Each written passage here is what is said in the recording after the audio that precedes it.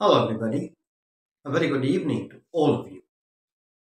Um, remember, in my uh, last uh, short, or shorts as they call it, um, I did say, or rather, I spoke about English being a very funny and peculiar language, and I gave uh, one or two examples. Uh, and in continuation of that, uh, because I did say in that uh, one minute video that uh, in my next normal video talk, I will uh, elaborate on that. Elaborate means to give some more examples, etc.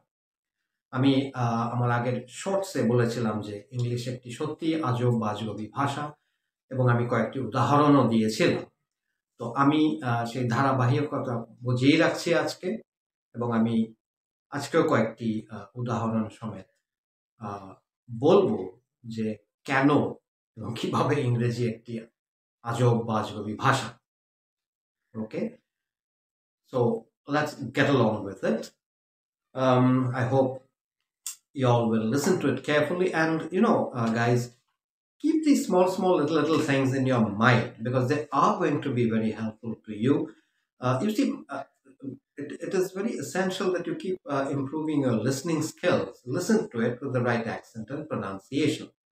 That is of paramount importance okay? Now uh, going to english well let's start with uh, let's start with uh, a bit of what shall i say? Uh, a little bit of a talk before we uh, jump into the conclusion of English being indeed a very peculiar and funny language. Well, um, of course, not to say most of us are aware that it is a very peculiar language. anyway, as we know that uh, India itself is known for its rich and diverse culture, as well as some very, very rich languages. You know, just to name a few, we have uh, such wonderful, uh, rich Indian languages like Malayalam, Bengali, Tamil, Ohomia, Kannada, and such. These are just a few I've mentioned. All right. And uh, you see, the British Raj ended over half a century ago, but they left behind the gift of English, which still firmly holds sway in India and, in fact, across the world, or rather, I should say, across the civilized and business world. All right. Now, um, however, we must um, keep in mind uh, there's something uh, you know we really ought to keep in mind that um, English is indeed, uh, I've said uh, time and again, that it is indeed a funny language, and it you know borrows heavily. It does. It borrows heavily from various languages, and you know it keeps evolving. Like today was like Maidan, Bazaar. These are a part and parcel of the English word itself, also, and of course, we are all aware that uh, dozens and dozens of French words have all become a part of the English language as well. Even the simple omelette that we make out of an egg is, is actually a French word. All right? And, uh, uh, you know, it, it, it bends a lot of rules, and at times, you know, it goes by, you know, no logic at all. So that's why it's such a peculiar language. So do listen to it uh, this the last next few minutes, and uh, you know, keep it in your mind and try to remember them and you can also use them you know that is the beauty of this very funny language called english i'll give you a few examples. Now see number one my dear friends i mean i'm giving you examples to show that uh, why and, and how at times english is such a funny language you know. Now example number one you see when uh, we transport, when we transport something um, by a car, we call it a shipment. When we are transporting something by car, we call it a shipment. But when you are sending something, transporting something in a ship, It's called a cargo. Okay, so ideally, when you're sending something with a car should have been cargo and something by a ship should have been a shipment, but no. When you're sending something by a ship, it's a cargo, and by car, it is a shipment. Okay, now see, keep this in mind also. I'm going to give you just four little examples. You know, they are like double double barrel words.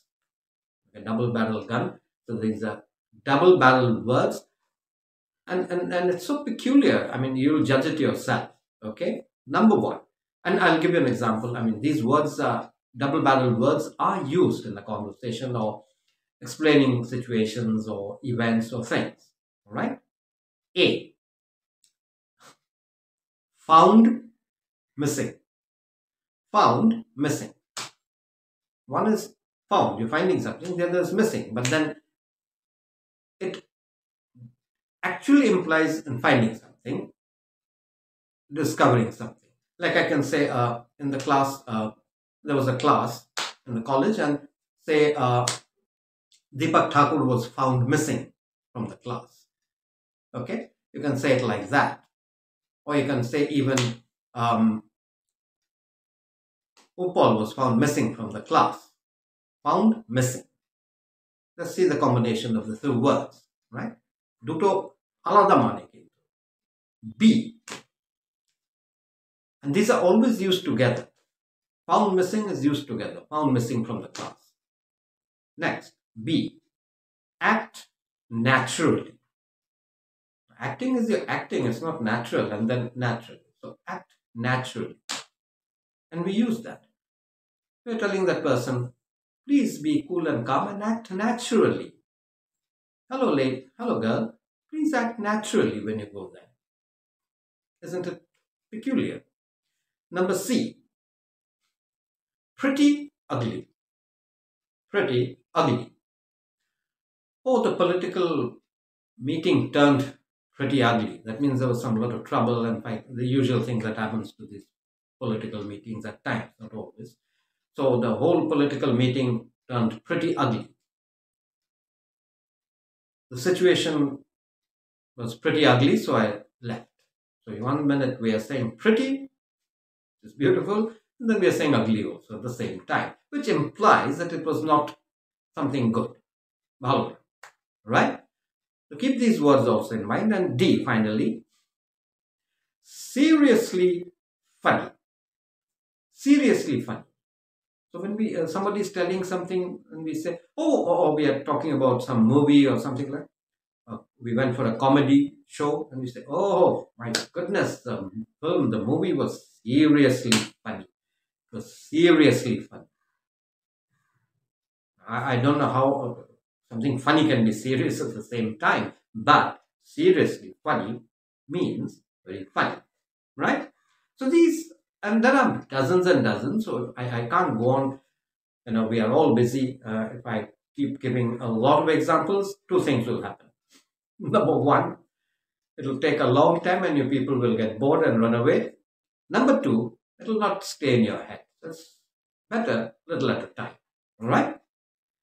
And you know, as I always say, grammar is important, but it is not very essential for a person to learn how to communicate well in English with the right accent and pronunciation.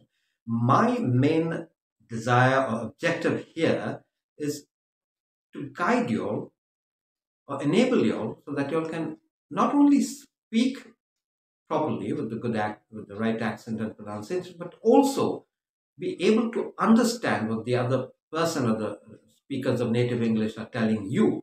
So that's why I say improve your listening skills. Right? I'm not here to, uh, you know, try to make you all into professors of grammar. Okay?